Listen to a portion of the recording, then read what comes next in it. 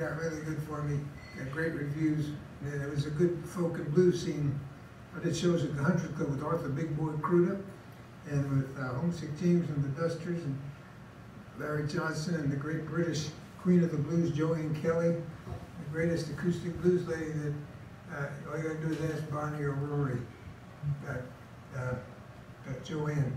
She was a great lady, put me up in her spare room for six months and uh, introduced me to all the people, the right people, and I had an agent over there, what have you. It's a good, uh, good start. I came home with all kinds of reviews. I got a record deal with Adelphi Records. The record's still in print on a CD now. They rewrote the contract. And now I made a little money finally. Nobody gets into this to make money, but yeah, it helps. but we're doing okay. I did about 50 cities this year and three shows in Florida in December, a couple in February, March. So it's all right. Let's see. Could have been worse. Could have been worse. Could have been worse. Could have been worse, exactly. I, I wrote that song because I was always saying it, and my wife used to get annoyed with me. And I come over the road and she said, "No, we're going to go to Sally and Bob's house for for to have a little party." I said, okay, you know, and we went to the party. And and she said, "Well, uh, that was a nice job, wasn't it?" I said, "It could have been worse." She said, "You're so negative." And then I needed one more song to finish that album. Wrote it could have been worse driving to the studio. So easy to write. And It was the one that got all the airplay. So uh, actually, she now doesn't mind me saying it because I was the year we paved the driveway.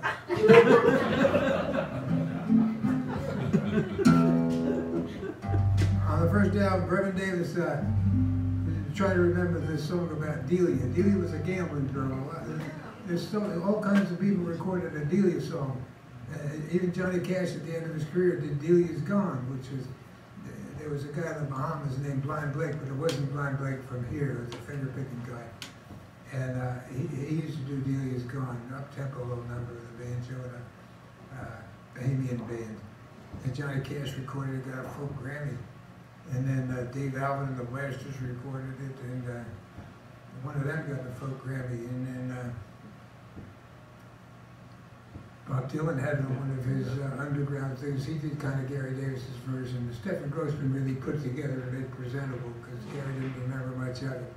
And uh, I recorded this like in 1970, so I think everybody learned from my record, but not folk Grammy.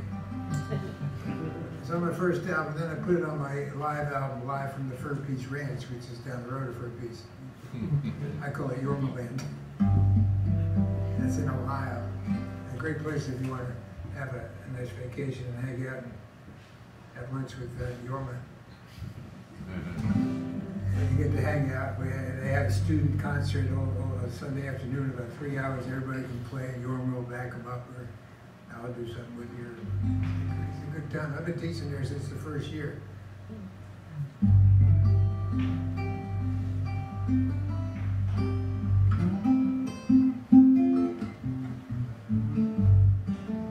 Some guy sent me a doctoral thesis. Some folklorist uh, said that oh, this incident happened in Savannah. That Delia got murdered.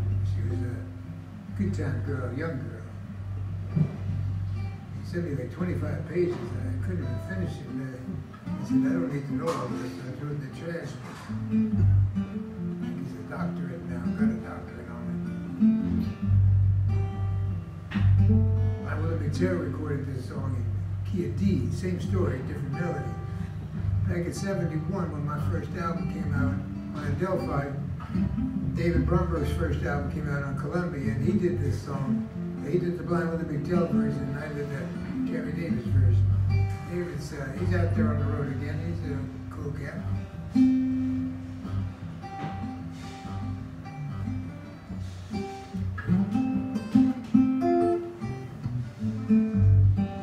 He was a uh, protege of Reverend Davis as well. Silly if you lived in New York in the 60s not to go over there and get a couple of five dollar lessons. Delia was a gambler, gambled all around.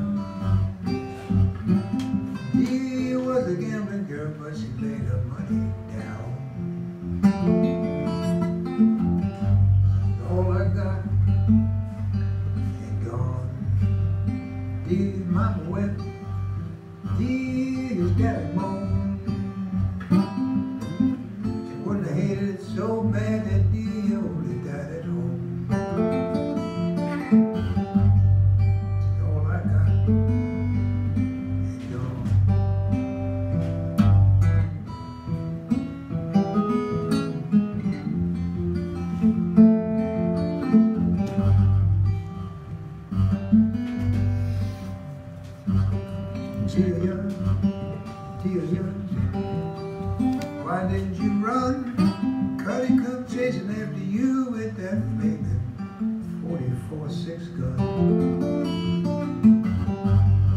She's all I got and gone. Man in Atlanta trying to pass for white. Julia, my darling's in the graveyard and she's six feet out of sight.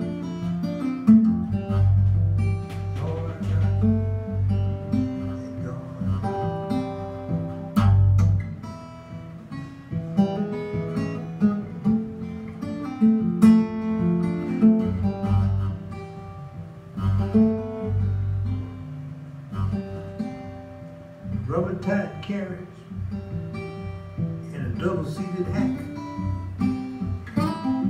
Carried me into the graveyard, never carried Delia back.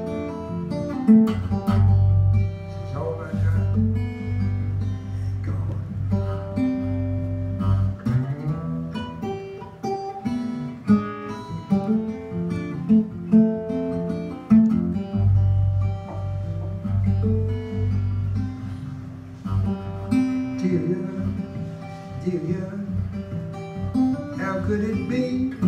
You wanted all of those gambling men, but you never had no time for me.